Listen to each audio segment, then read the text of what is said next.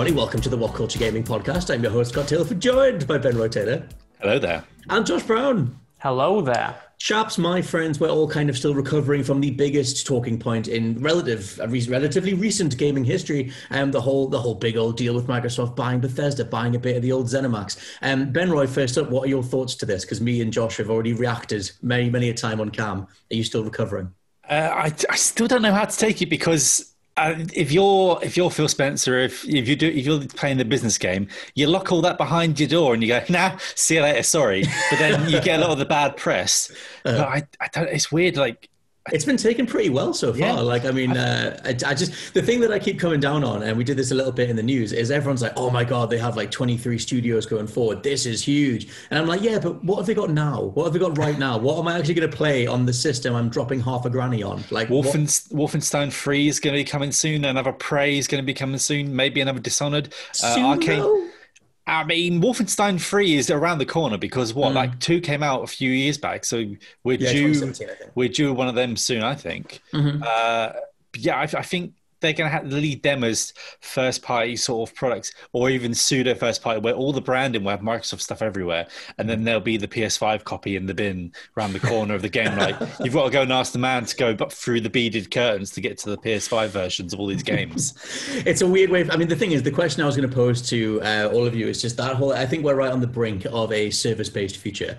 Um, and I did a predictions piece a little while ago on the idea of conglomerate ownership of major franchises and IPs and companies um, because there was that whole rumored deal. I forget whether it was Sony or Microsoft, but one of them was going to buy Rockstar. Josh, you remember this?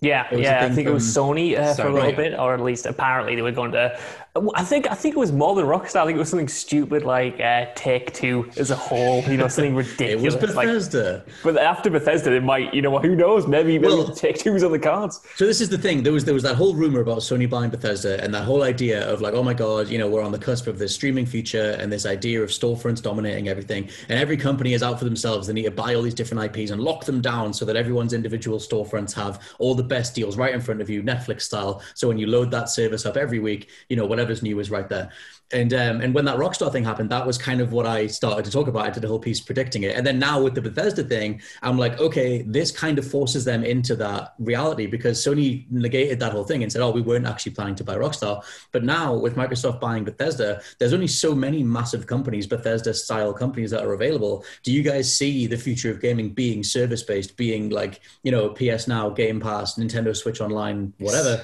and it's just up to every company to lock down all these other individual dev groups to make sure their storefront is as strong as it can be. Not right now, I don't think. Maybe mm. in the future. I feel like this might be a Microsoft 2013 thing, you know, when back then they were predicting an all digital future. They were predicting things that are only starting to properly come into popularity now, seven years later. I'm sure we will get to a space where streaming and service based um, products are kind of more dominant. You know, Microsoft's obviously making that its thing, but at the mm. same time, you do have um, you know publishers and console makers and software makers pushing back against that. Like Sony the other day was saying, we're not going to directly compete with Games Pass because we just essentially can't afford to do it. You know, our first party titles. I think it was Jim Ryan who has admittedly been been talking a lot recently. Old Jimbo's been, been doing awesome. a lot, yeah. Yeah, yeah, yeah. But I think he was saying, uh, you know, we make these first party games that have $100 million plus price tags. It just mm. doesn't make sense for us to put those immediately on a service like PlayStation Now. So I feel like the financial reality of it is perhaps detached from what some companies are actually pushing for because Microsoft can afford to take these hits. They can afford to take like losses on consoles at launch. They can afford to spend 7.5 billion on a company like Bethesda. They can mm. put their first party titles out on Game Pass if it gets people on that service because ultimately, you know, Xbox for better or worse isn't as vital to the overall Microsoft brand as PlayStation is to Sony. So they can take the hits and they can try to mold the um, the industry in, in their image, as it were. But whether or not everyone's kind of going to follow suit, whether or not Nintendo sorry, I'm just uh, getting very excited, and my entire entire body's trying to fold in on itself. Whether Nintendo or Sony or whoever, Google Stadia is going to follow in that same in the footsteps. I just I just don't see it right now. Maybe eventually. Right. I think it's like going to be akin to what we have in film. Like if you think about say a low budget film compared to a low budget game, like you don't really see that immediately. Like say you you might get your like side scrollers or say uh, I'm just trying to think of one off the top Survival of my head. games. Yeah, you you can sort of tell like a low budget game straight away, but whereas like you look like say films, that we have like say four or five big studios left, and then we got like Disney's, and then the mm. Netflixes that like just bring us content so we can put on our platforms and the mm-hmm. Amazons. So I think you're going to have some of the you the the bigger players in the game like PlayStation and Xbox have these platforms and say like maybe PlayStation should do a thing like just buy Konami's game division and then just get rip that out rip their library from their hands so they can pachinko away and more sort of like the higher budget looking games which are only getting more and more expensive to make mm. as it goes along in their sort of uh, their camps and then still have some of the well, ones like a Devolver Digital, I'd say like will keep going and keep publishing, putting out games and helping like the smaller mid tier budget games getting out there. That makes mm-hmm. sense. Or well, that's the thing that that's what's so fascinating about it is like, it, does it benefit the devs? Like, does it benefit the project ideas? Does it free up like more experimental game mechanics and, and different ways to make games, or does it? it it's all going to depend on who's at the top of Xbox. Like the whole thing that happened with Ubisoft. Like as soon as that um, Serge Hascoët guy, whatever, left, he was the dude that was mandating the Ubisoft formula, yeah. mandating everything to be open world loot systems, whatever. And so, like, if any individual or smaller group of individuals then are in charge of all these companies at once,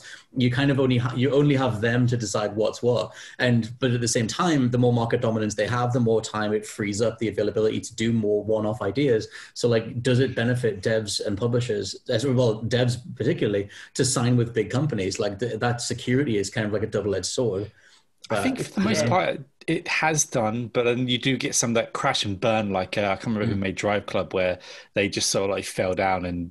Uh, oh god! The game was a year late, and then they yeah. basically got disbanded. Uh, I mean, you never really want to. The rumors you never want to sign with EA because they just take you, and then it just juice well, you known for it, like yeah, till you've got nothing left, sort of thing. But it's weird with the Bethesda stuff because you think about, like, say, even five years ago, it seems like a few smart business deals that got Bethesda, especially their publishing arm, so mm. high up. When all of a sudden Wolfenstein was coming back and. Uh, I mean, Fallout 4, and the main Bethesda stuff has been a bit weird, isn't it? Like, they've, they've, got a weird rep, like this generation. Within, all that mm. sort of thing, all this sort of stuff started coming out of their sort of publishing wing. He's like, wait a minute, this is all, this is all like I would say all AAA, like definitely all AAA stuff sort of coming out of there and to reasonably good quality. Like Dishonored, people love that as well. Mm-hmm. So I just think that they've made a few good business deals that have led them into basically ranking their price up and probably a lot of the seven billion is for uh, Elder Scrolls and Fallout. But I was, but I was like, looking at a um, comparison as well that um, when Disney bought Star Wars, that was only around four billion uh, dollars, and this is like this is still almost twice that because the, the IP that they've bought, Skyrim, Fallout, yeah. well, Elder Scrolls, Fallout, everything else, is just worth so much more, and I guess they want to cover future cost as well. Totally. I mean, you like you look at the gaming industry in general, like that's worth more than the film industry. You know what I mean? Mm. Like it makes more money. You know, overall, it makes more profit. And when it comes to, I totally agree with Ben Roy. In fact, that when it comes to Bethesda's publishing arm, especially, mm. like they've been knocking it out of the park in terms of giving the developers the freedom to make these original games and those games to be like great. Some of my favorite titles this generation have come from Bethesda's kind of publishing house. That's been like The Evil Within Two, Prey, you know, stuff like that but the issue is, for me, because Bethesda has only really become like this AAA publisher quite recently over the past five years or something. They did their first E3 like what three years ago now. Remember that being uh, a big deal? Yes. Yeah. yeah, they were like entering the game. But I just feel like when it comes to anything outside of the Elder Scrolls or Fallout, they've just kind of dropped the ball in oh, marketing they've been a terrible or, publisher, yeah. Yeah, like when it comes to you know the review copy fiasco, where they weren't giving out review copies for good games for whatever reason. Yeah. You know the lack of marketing, the lack of push. It's made titles like even the original Doom, well, Doom 2016, like that came out to little fanfare at launch. Mm-hmm. It was only through word of mouth and how strong the game was that it became this super big thing, and it's why we've seen games like Prey, like The Evil Within 2, just not sell well at all. So my hope is that under Microsoft, those studios and those other franchises get a proper push, get a, a, bigger focus, get a bigger piece of the marketing pie, and get people behind them who can really sell those franchises because they are great devs, they are great games, they are great series that you know even though the games themselves were good under Bethesda, no one was playing them. So no. what's kind of like the point? Well, I mean, we did a, um, a, video. I forget who I did the video with, but we did a thing on like after Dishonored two crashed and burned, Prey had crashed and burned, Evil Within two had crashed and burned. In terms of sales, anyway, that all those games are really solid. And it was like Bethesda, why the hell are you not marketing what are clearly some of your most promising IP and game mechanics and everything else? Um, and yeah, you have to assume. I mean, another prediction I have is that like with Bethesda joining Xbox, so much of Bethesda stuff is going to be front and center on the Xbox marketing. Game Pass is going to be right. You know, here's everything that Bethesda do alongside the EA Play deal that they just did as well well. Um, that has to translate into a better quality control on Bethesda's part. Like they can't have a Fallout 76 size disaster because then it's it's Xbox's disaster. Like if, if they did, you know, anything on that level. Because um, another question I had as well is how much do you think they'll tighten themselves up? Because Bethesda have been loose as hell this this entire generation. See, no, no, not to jump in again, but we disagreed on this yesterday, Scott, because yes. I don't think they'll tighten up that at all, especially when it really? comes to actually Bethesda Softworks, you know, like the Todd Howard's company, the people who make Fallout in the Elder Scrolls, mm-hmm. just because we've we've had the confirmation that Bethesda will be publishing presumably Bethesda Softworks games, so they're going to continue to take the flack on that anyway. Mm. And then you also look at titles like the Master Chief Collection, how much of a complete disaster that was at launch. You know what I mean? It's not like mm-hmm. Microsoft has these games and ships them at this like top tier level. Well, Halo Infinite like, was just yeah, on fire. Yeah, exactly. Halo Infinite also on fire. Like there's also, definitely Gears like 5, a lax thing there. Mm. Gears Five was on fire in the connectivity on the campaign as well. Like towards the end of that game, you'd go into the um the third area, the snow, the sand area, and the game would just totally melt. Some of the t- so like you know is that not, does all these things not point to the fact that they can't let that happen again? I mean, Bethesda are known for this stuff. I don't know, man, because we, we always say this. We say this when it comes to like Ubisoft and Assassin's Creed, where like they can't keep getting away with it with that Jesse Pinkman meme from Breaking Bad. But we, we've seen the gaming industry as a whole, and Microsoft are usually pretty good, to be fair, when it comes mm. to you know support and stuff. And but we've seen like the gaming industry just push their luck time and time again. We've had so many different Bethesda releases that are buggy and broken and just are not where they should be at launch. And I do agree that Fallout 76 in particular was a kind of turning point, but that's mostly just because the game itself was bad. Like mm. if those bugs were in a really great Fallout game, it might just be like, oh, classic Bethesda. They've done yeah. it again. You know what I mean? So, it was, it was, I mean, it was, I hope they get better. Yeah, it was like tied with such a, you know, they were trying to do this massive online push that nobody really wanted anyway. It didn't really work with what Fallout was. And then it, all the pre order stuff and everything just kind of fell apart. I would just hope that, you know, they do something because I mean, Starfield is still going to use the same engine. They already said it uses the same engine as Fallout 4. So it's just like, I think that stuff has to change like 76 happened because ESO was like a lovely happy accident for them where ESO mm. is like still one of the silent biggest things ever and mm. they were just trying to do that again with Fallout but I think because they lied like Todd basically lied to us going oh you could play this on your own oh there's there's going to be questions they always say all, that as well yeah they're, they're all robots though but um I think I, I would put ESO Elder Scrolls on like a Star Wars level in gaming term. Like it's just that popular. I think it can mm. and Fallout. I think they can triple fall and then they can come back and then hopefully not then fall again straight away. But it, it's weird. But if you go back to like, the publishing arm, like everything they've put out, I don't were any of those games actually broken because they even had interesting stories like Evil Within Two didn't and like how he was Prey. Uh, well, that was the, games. That's like the crying shame with them is that their best stuff with the, with the Bethesda name attached isn't made by Bethesda. Like the Bethesda game studio stuff has been really just crap. Like that's the stuff yeah. with the broken game engine stuff, the things that were fixed months after. But all the all the deals they did, the id Software's, you know, the Doom's Evil Within, Prey, Dishonored, like like like they're different studios, Arkane and everything. They were that was why it was so sad when Bethesda as a publisher just couldn't hold up their end of the bargain and do a really good marketing push because the games were great. And like I mean, like Josh, you absolutely love Evil Within. Like yeah. they just they've so only ever done it Okay, they've only ever done like a disservice to that IP, um, but it's like assumedly all those things, all that would change because now it would be oh your new releases on Game Pass, it's right here. The whole 15 million people see it on one day one.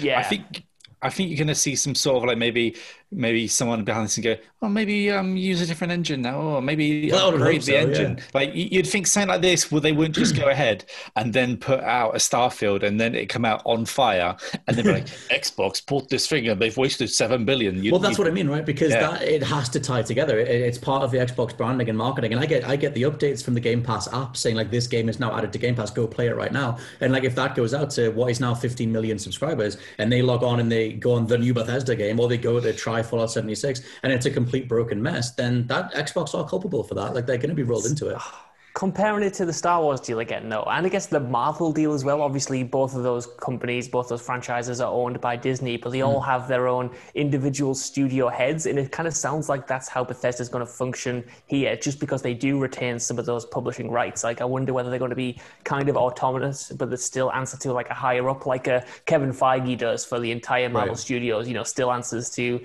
Disney ultimately, but he kind of like calls Phil the Spencer shots. Like, in. Yeah, like we had, um, you know, Kathleen Kennedy on um, Star Wars and Lucasfilm. Lucasfilm was calling the shots at Star Wars, mm. and then obviously they had to report to Disney, but they were kind of autonomous in what they were creating. And I just, I, I can't see Microsoft kind of coming in and instantly taking over just because of the deal that they've made here, no. being like, look, we, we're going to put this person in charge of this, we're going to restructure this, we're going to make you do this. Like, mm. for as buggy as Bethesda's games are, they still have a reputation, they've still sold really well. Mm-hmm. And until if until that goes, I feel like they would just kind of want to buy them as is because it is, you know, kind of a successful model in a lot of ways. I tell you what, though, because um, you wouldn't think that they would get that granular with development, but Phil Spencer took Scalebound out behind the sheds and just put an absolute True. bullet through the head of that. So I, I do yeah. think I do think they're gonna. You'll get less of say like um, what was that Wolfenstein game that came out last year? Cyber, no, uh, oh, Youngblood. Youngblood. Yeah, I think you'll get maybe less of them, but these small little things, the little I wouldn't call them cash, to make them. I wouldn't yeah. call them cash grabs initially, but uh, sort of quicker turnaround sort of things. I do think that you're. I, I think they might. They've got to change something where they're they're not going to use the exact. This is my prediction. They're not going to use the exact same engine for Starfield. I can't see it. He's already with, said it. Todd, Todd Howard said they're using the he, same. He did say it, but as he said it, as he said it since yesterday. He says no. That's the thing. He says many yeah. things. Yeah. And he also Todd doesn't have Twitter, so he hides away. So he's, he's now going to be hiding away via Phil's. He's on Phil's uh, shelf. I reckon there'll be. You've got to see that there's, there's got to be some sort of different analysis for that. Like they they could give them they the thing with these sort of big like deals is they normally get time time mm. is the bigger sort of resource in a lot of things so you'd hope that they wasn't like sort of cranking out by the whip like we must get starfield out because mm. what starfield is not going to be like another three odd years yet probably for the size that they want mm-hmm. and, and I mean they have the logo for um, Elder Scrolls Six as well which again I mean that's that's another that's what I kind of mentioned before is like they've done all these deals but we're not going to see the fruits of any of that that labor for three four five years like it's still going to be forever in the future totally, imagine but- Sorry, I was going to say, like for the for, for me, like even though it is a kind of future proof, and we've heard that before from old Phil. Phil keeps coming out, and he's like, "We bought all these studios, we've got all of these plans in motion, and we're kind of sitting here like, well, when when are these crows going to come home to roost or whatever the saying is. When we're going to find out the fruits of this labor? Yes. and we haven't seen it yet. But that said with the amount of kind of talent they currently have like over the next few years we've got to see something. We've got to see something from you know avowed or whatever obsidian's doing next. We've got to see something from like Arkane or Bethesda themselves or you know whoever rare uh, or anybody yeah rare or anyone you know what I mean like there's too many studios like you said at the beginning there's like 20 plus studios now mm-hmm. like even if it might be us once again going we need to buy into the future we've got nothing for now that is definitely true but it it is a good future. You know what I mean? It is a nice future. They've got a good thing going at the moment. And it is, I, I, said in the news this morning, it's enough for me to invest in Xbox now. I was on right. the fence. I was like, well, what have you got? Should I just get an S? And now with the promise of all of these developers, all of these franchises potentially coming to Xbox, mm. like, I, I want to be all in. I want to be all is in, baby. Not... I want to, Series X, I want to be in there. Is that not another weird um, anomaly, like problem though? Because they bought all these developers, they have all these different dream teams. They now have the combination of Bethesda, Obsidian, and inXile could make an RPG together, like which would be a dream team, super team thing. But they also have to make sure that all those things work on the S. They have to make sure that those devs don't play to the strengths of developing something that could only work on the Series X. Like they have all this potential that is still potentially, like you know, if you go off what some devs have said, like Infinity Ward or whatever, potentially held back, bottlenecked by their budget console. Like that's a whole other reality to the way they're approaching the uh, next generation, which just so many questions.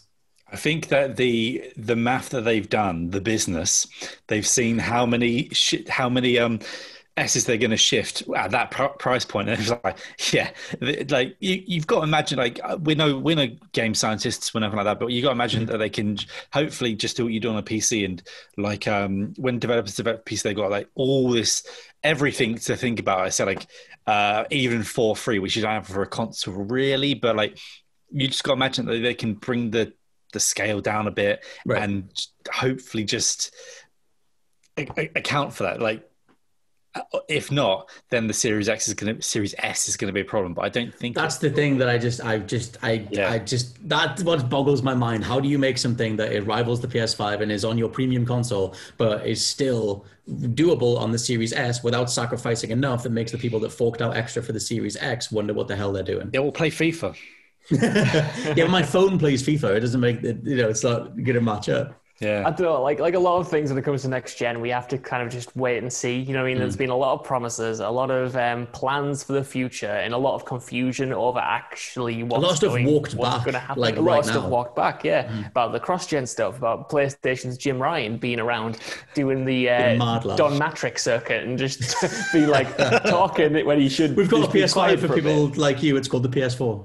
exactly. Just, uh, so I don't, I don't, it's. It's like like we've been saying, like it's just going to be such a strange generation to go into because we do have all these questions. We're two months away from launch. Mm-hmm. Studios are being bought at an unprecedented rate. We don't know how Sony is going to react, if at all, because Microsoft's kind of just undermined a lot of their plans. They have timed exclusivity for um, Deathloop and Ghostwire Tokyo, which were Bethesda games. They were apparently um, trying to get Starfield as a timed exclusive, which obviously yeah. Isn't going to happen now. But it's like no. No. um, will Sony like react at all by buying their own studio? Will they buy I don't know uh, Square Enix Rockstar, or Take Two or something? Rockstar. There's that rumor that Sony have one more the, the, one more thing before the new gen, like apparently at TGS. But you've got to imagine with like the Starfield thing, they look back at that email thread for Starfield and just Phil Spencer replies in the gen, "lol," and then that's it. That's it done. but I feel like the, the whole thing with um, the idea of, like I said, of buying up like conglomerate ownership of these different companies is, assumedly, the Microsoft deal has been in the works for a long time. It isn't a reaction to Sony buying Spider-Man, Sony buying Final Fantasy 16. Assumedly, this is something that Microsoft have wanted to do for a long time.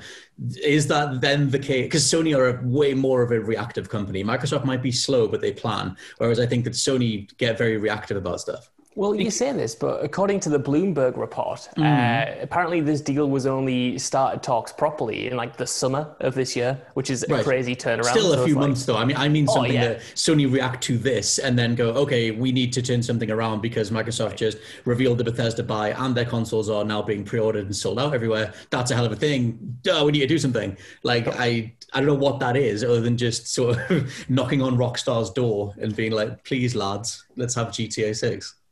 It's, it's so I, I, imagine that I, I, don't like the the biggest fear for me is like if a Capcom would get bought because that would just be right. horrible because then you want them to remain their own entity like you like because Bethesda is wasn't exactly on a downturn like maybe in the public eye but they were still worth more than ever right so yeah. you got to imagine anything's on the table Sony they might have all these other divisions that are failing but they're still they're still the big hitters and they could probably grab anything but who else is out there? Who else?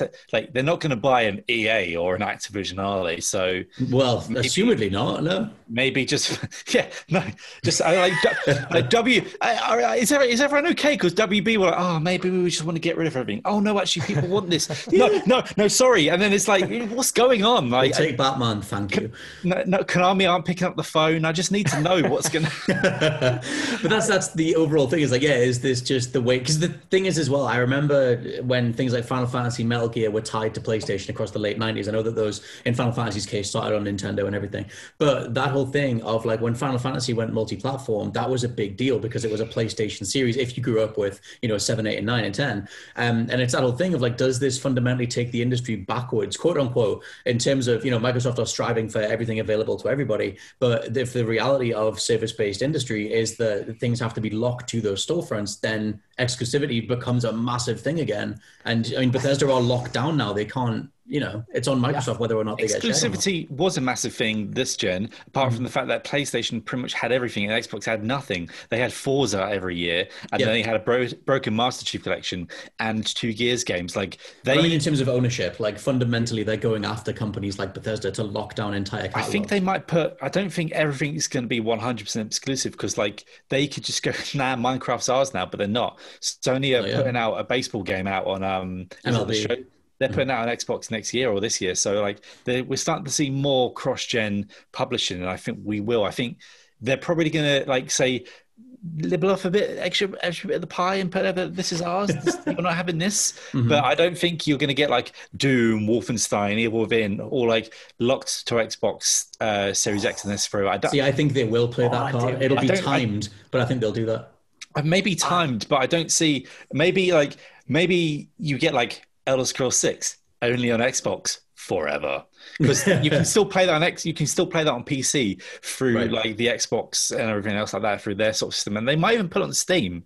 But I think it's almost worth them having the one, the one big thing to jab like, mm, take that God of War, go away. But like, dudes, yeah, dudes, but... dudes, dudes. I just, I just don't see a reality where those games are cross-gen anymore. Like, no. why would you spend all that money to not have Doom and Evil Within or whatever yep. on your um, console as exclusive or on PC, whatever? I can, I can do, I can maybe see, like, like I said before, like the big hitters, like the big Fallout, big uh, Elder Scrolls potentially being cross-gen, but absolutely, or for me, it's like absolutely not when it comes right. to Wolfenstein and Doom and stuff like that. Because why spend all that money if that's the case? I yeah. know more, well, like you were saying, Ben Roy, you do like to see, like Microsoft is open to, you know, putting things on other platforms, but like, why? What would be the end though. game?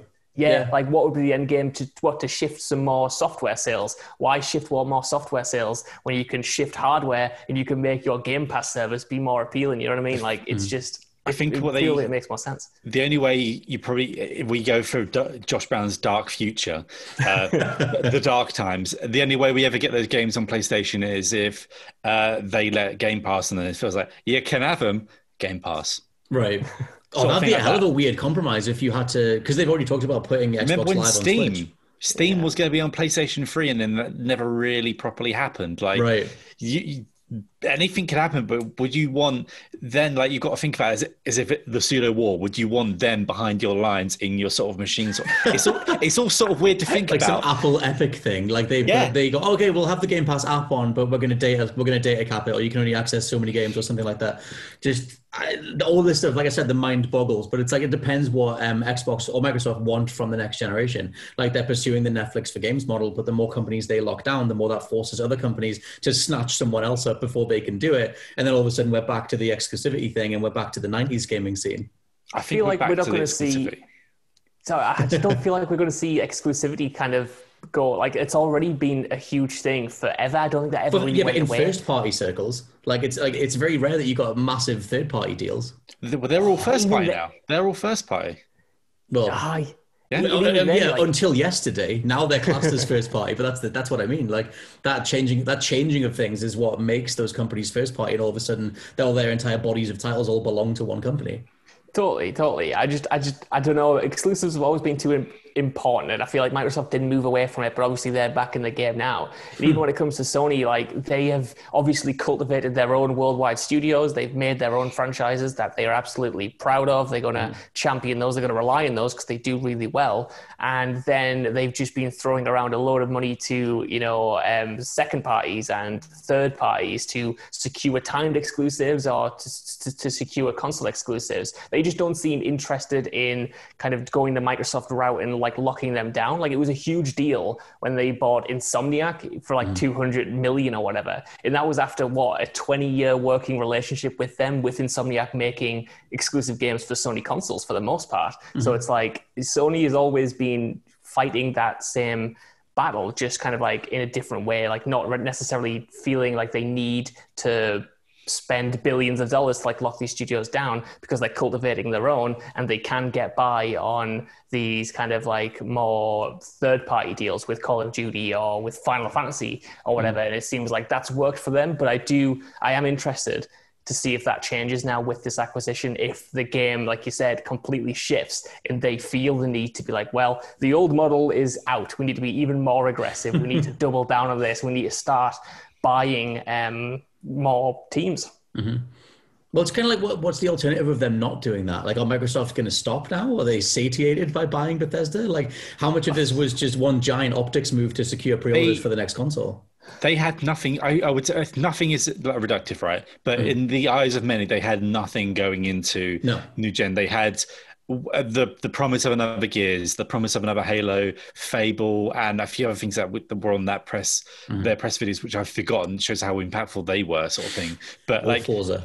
they they had nothing, but you could line up all of all of PlayStation's chips. Like they got this, this, they got God of War, Horizon, nah, da da. Miles Morales. And yeah, and that even in some people's eyes, Resident Evil with like the the VR feels like mm. more of a PlayStation sort of eccentric thing. So, uh, Final Fantasy you said so they had all their chips, and this is just Phil basically after a generation of basically scrubbing scrubbing his desk clean of all the last bit of Don, and now he's now got back in there and he's put his he's finally lined his desk up how he wants. He's got the pens there, nice, and then he went oh professor as well. I think it's just literally it's taken so long. Like these mm. are these are giant freighters. Remember, remember the Xbox was going to be getting into TV and have their own sort of every game was going to have its own sort of channel. Like what was it? Um, Quantum Break had this show, and mm, yeah. so it's taken so long to change course and Game Pass has been the big thing in that the whole time. And now this is like one of his the final part of his plan. I don't think they're going to buy more because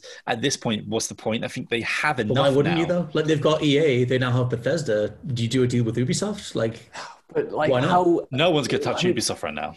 Hmm. Yeah, oh yeah. I, you know, feel like there'll be like third, like like this same with, with, with Sony, like maybe some kind of like timed exclusives, but I can't see them like spending another three billion to buy another kind of um, big publishing house, just hmm. because you know, like financially, at what point does it stop making sense? Like, sure, you've got all of these um, franchises, you've got all these teams, but not only do you have to subsidize the upfront cost of literally billions of dollars, but then you know, even from this Bethesda thing, they've got two thousand three hundred employees on the payroll now, so that's yeah. like something they've got to think about. Mm-hmm. You've got to develop the games after this. You know what I mean? You've got to pump hundreds of million dollars into making these games. Like, at what point does that business model become untenable. You've already got 23 studios in house. Mm-hmm. How many more can you financially add All on? of that of that as well is well, hanging on Game Pass because that yeah, was the thing exactly, that Jim yeah. Ryan was talking about. Like, oh, it's not, it's not feasible. Um, but then you know, they, the Game Pass had a 50% increase from 10 million to 15 million subs, even in like April. It was like the last month or something.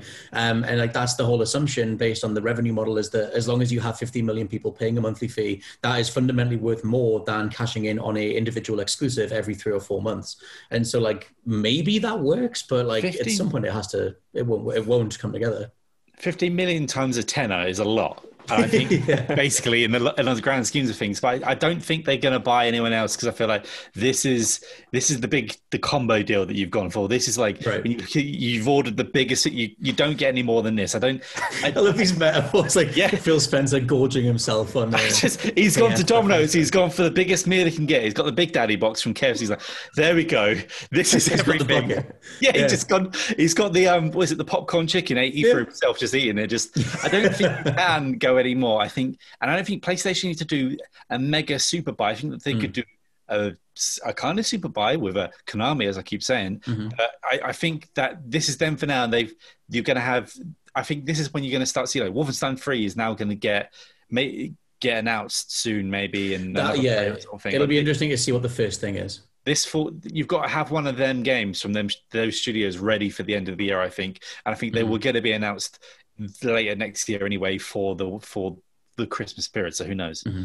It reminds me of like when um, when DC and Marvel were sort of going at each other's throats, like as their movies rolled out. Like every time you would get a DC trailer, every time DC was about to get some momentum, and Marvel were like, "Here's an Endgame trailer. Here's an Endgame teaser. Here's something else. Here's Thanos doing a dance. Here's whatever." And they just they just upended them at every single turn. Yeah. And I think that Microsoft buying Bethesda gives them so many opportunities to do teasers, to like you know switch um, to bring social media spotlight back to them, um, because optically, like you know that idea of like say Sony's next announcement for the rest of this year is Silent Hill being an exclusive, um, or even a timed exclusive, is that bigger, quote unquote, in a social media trending Google traffic space than Microsoft buys Bethesda? Like, I just I don't see Sony being able to compete, and so I think that like then what do you do if you're Sony? You've kind of lost the optics of it, and like even like Josh said, it's it's brought you back across to wanting to get the Series X. Like a lot of people, like you know, are going to buy one of these systems, and it comes right down to the wire, and so like Microsoft do this play to be like, we have Bethesda in the future. Sony either don't do anything or they play their Silent Hill card. Do they have anything that they could even do? I, I was, I mean, i w- I've had an Xbox just for like one series, pretty much. So they already had me. That I can't imagine how many more it's Gears of War, by the way. Yeah, and a bit of Halo. I can't imagine how many more they're going to put in with by the way, Doom, Fallout, Elder Scrolls, oh well, or just like you know, just yeah. railing them off. Like it's, it's it's it's a crazy thing to think about. Mm-hmm. And they got they got Josh to spend an extra two hundred quid. oh, I know, I know what they have, but it was like it is funny like talking to people because even though Sony has like, in my opinion, a great stable of franchises, a great mm. stable of teams, because Microsoft have done this right at the very end of the race, when we've got pretty much all the other cards on the table, we know Sony almost certainly doesn't have a trump card on this level, and they've gone, well, look, look at this seismic thing we've mm-hmm. been saving to last. Look at this ultimate one more thing. Hail it does Mary. get you thinking, and it makes you. It kind of does undermine everything else Sony has done. Even though, in my opinion, what Sony has done has been pretty top notch. It just kind mm. of blows it all out the water, and you're sat thinking like, well what do I do now? Because even though you haven't confirmed if Fallout's going to be exclusive, even if you haven't confirmed what's coming next from these mm. studios you just bought, the promise of it, the the seismic shift of it, the gargantuan nature of it is enough to like turn heads. It was enough they to turn my head. said that that won't be heads. the case. Like if they yes, exactly planned right. on these games definitely being cross-plat, they would have said it. And I think that like them just being Phil being like, oh, it's case by case basis, and then um, Todd and, uh, and old, old Hines being like, oh well, yeah, we'll we'll figure it out as we go, kind of thing. We're still going to be a publisher. Um, if you were committed to cross-platform, uh, multi-platform releases, they would have got out and said it. Um, but yeah, I just I think it's one hell of a thing. It makes me worried and excited in equal measure. Um, I guess just general quick closing thoughts. Do you see this as a good thing for the industry, Mr. Ben Roy? Yes, because I, I, simply for the fact like a Wolfenstein and a Doom are never going to fully die now because Microsoft mm. owned them, sort of thing. So I'm thinking more like remember that period in Doom and, Mark, and Wolfenstein were just gone on, on the floor somewhere in someone's cupboard. Now they're there for us. so in that, aspect, yes. Also, I think it's good for Microsoft because they just needed a win here, and now PlayStation and Sony and everyone else like, oh, what's next? It's yeah. competition drives competition, which is good. Mm-hmm. If a horse is on the floor dying or Old Yeller style taken behind the shed, then yeah, I'd say I did one quick quick thing I was going to say, Josh, when you were saying about like it makes you wonder about where to put your money and stuff. It, it feels like you're choosing between the present and the future. Like the present mm. is Sony because they have a launch lineup, like they have a bunch of exclusives: Destruction All Stars, Miles Morales, uh, Sackboy, whatever, Demon's Souls. They have things to play on day one. Whereas you're playing for the future um, with Xbox and you're waiting two, four years, some amount of time. Um, but it depends. You know, some people only have can only afford a console every few years, so it's it's just very much that. But yeah, do you think it's a good thing? For the industry this whole approach to ownership?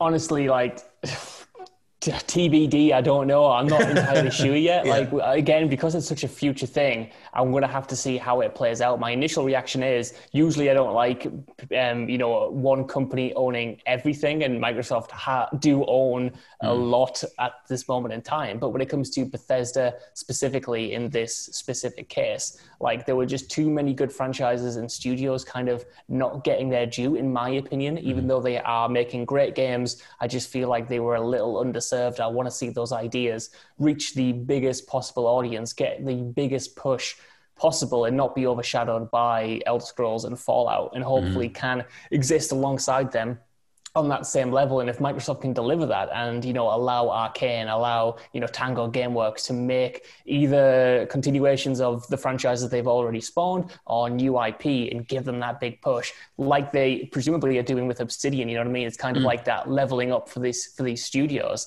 And that's not to kind of undermine what they've done, just I think that's how it's kind of perceived by a lot of um, you know, more casual players who don't really know what the evil within is or don't really give Prey the time of day. Like I want them to become the next big franchises because, in my opinion, they deserve it. And if. Microsoft can do that, in a, in a in a way that's much better than what Bethesda was doing on their publishing arm, then for me it is a good it's a good thing. Even if I am resentful that I'm going to have to buy an Xbox Series X at launch now. Jesus, I do uh, I do the, the, the, some of the stuff fascinates me. Like I'm sure Shinji Mikami is still at Tango GameWorks, like the dude that gave us Resident Evil 4, and it's just like what does he do now that he's joined Microsoft? Resident Evil in general. Yeah, yeah, Resident Evil in general. But he was the guy. He was the guy that was like, put the camera over the shoulder. We should fight. We should shoot this way, and changed the industry. And it's like Microsoft have recruited him like just on the side, like he's just one of Tango GameWorks members. And that stuff's all fascinating. But yeah, the sheer exposure to a wider variety of titles, like day by day, um, if they can manage that, it it, it, it automatically beats the way that Bethesda were approaching those teams Microsoft have been reorganized into the first galactic empire. It's just here we go. just... Hopefully, they're for the good. And, yeah. But yeah, let us know what you think down in the comments below if you're watching the video version, or come find us on uh, social media if you're listening along on the audio platforms. For now, this has been the WhatCulture Gaming podcast. I've been your host Scott Tailford, joined by Ben Roy Turner. Goodbye. And Josh Brown. Goodbye. And we'll catch you all next time. Bye bye. See ya.